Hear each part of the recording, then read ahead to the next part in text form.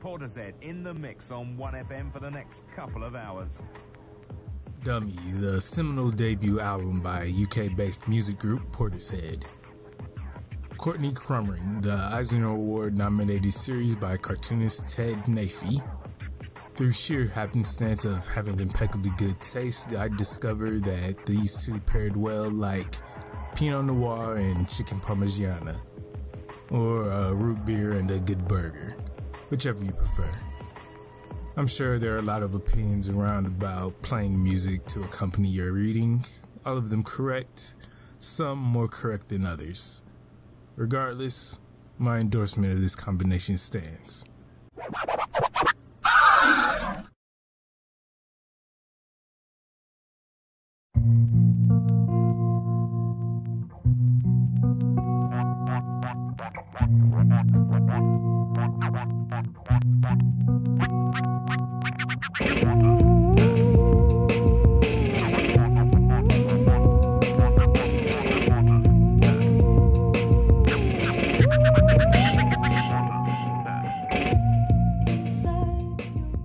Portishead's debut album stands alongside Massive Attack's Blue Lines and Debut by Bjork as one of the early pioneers of trip hop, helping to launch the genre beyond the subterranean scene in Bristol, England. Music producer and DJ Geoff Barrow and singer-songwriter Beth Gibbons first recorded sounds together in 91. Two became three when they were joined by Adrian Utley, who introduced a few unique instruments and a jazzy flair.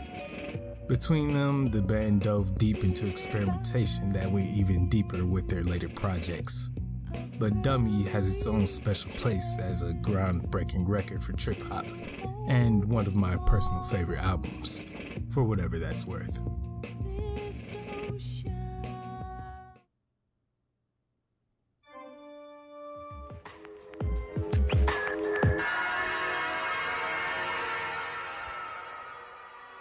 The Courtney Crumrin series is a young adult urban fantasy comic that can very loosely be described as Mandy from Grim Adventures moving into her Uncle Snape's house.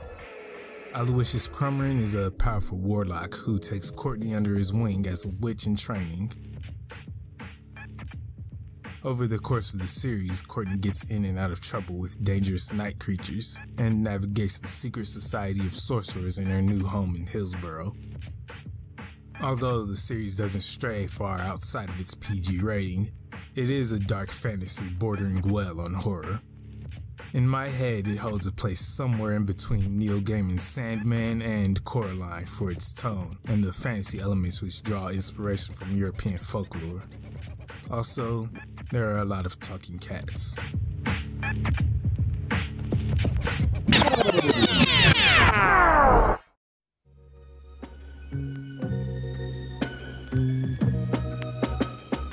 Hi there, welcome to the new music. If you're a music fan who pays attention to music reviews, then you may have checked out Portishead after Melody Maker named their debut album, Dummy, the best album of 1994.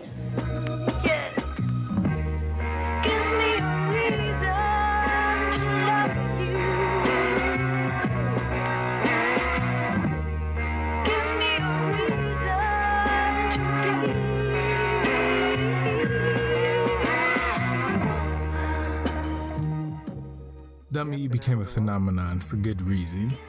There's never a low point across its 11 tracks.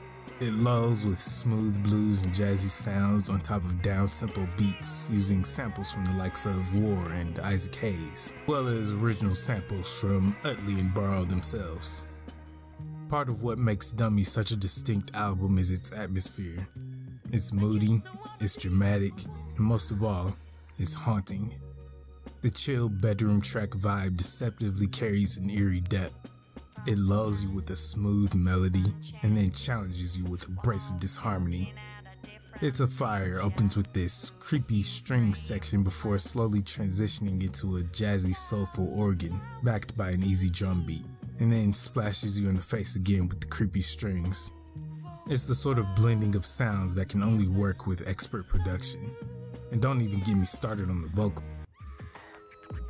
In the first issue of the first volume of Courtney Crumrin and the Night Things, Courtney and her parents move into her great uncle's mansion, which is thought to be haunted by the town children, which it is. And since she lives in a creepy house and she's new in town, she's got no friends. Except for one. And they both get their lunch money taken by a gang of schoolyard bullies. Anyway, I'm not gonna bother telling you her new friend's name because before too long, he and Courtney take a shortcut through the woods to escape said bullies, and he gets eaten by a goblin. That, more or less, sets the tone for the series. The violence that exists is muted or off screen altogether, but it adds a pervasive sense of danger and mystery throughout the series. There are always monsters lurking in shadows and hiding just around corners. As Courtney gets wiser with her witchcraft, she learns to use it to her advantage, and soon enough she's regularly steeped in shadow and is as feared and dangerous as the night creatures themselves. At the end of the first issue, she learns how to bind the goblin that ate her friend and six it on her bully. Not to kill them or anything. She doesn't commit her first murder till volume 2. Oh, can't anybody see?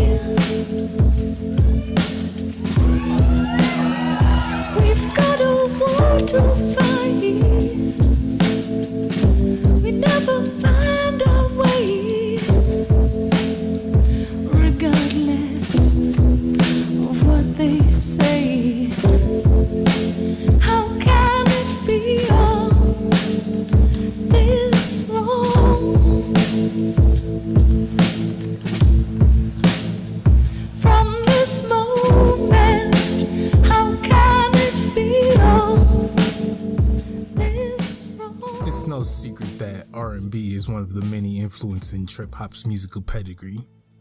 As much as the sound is attractive to rappers, as proven by Tricky Kid partnering with Massive Attack, the genre is dominated by female vocalists. If the production of Geoff Barrow and Adrian Utley are Dummy's beating heart, then Beth Gibbons' voice is the soulful uh, soul. Gibbons' vocals across the album carries a deeply affecting tone with her subtle range and finely tuned control. In Roads, one minute she's smooth and soothing, floating on top of the instrumentation, and the next she's quick and cutting with the fast vibrato that sounds so fragile you might think it'll break at any moment. Paired with her lyrics, there's an emotional core to the album that's candid and confident in its display of vulnerability and loneliness.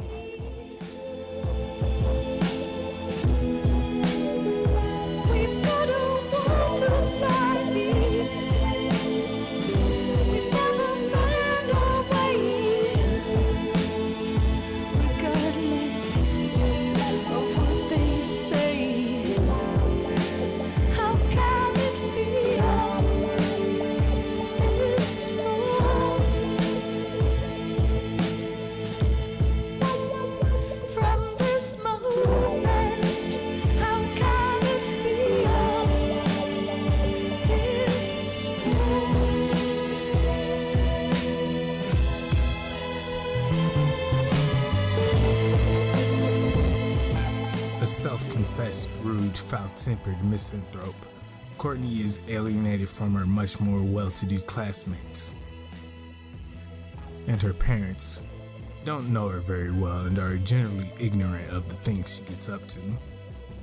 The few friends she ever does have are dead or generally distant.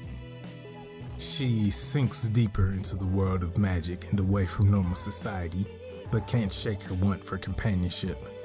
Unfortunately, nearly everyone who gets too close inevitably experiences something horrible.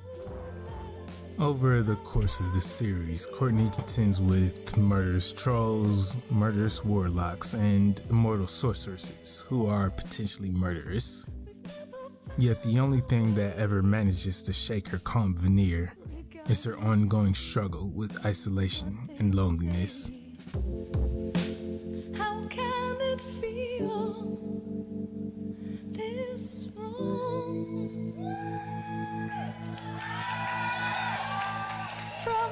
Moment. How can it feel this?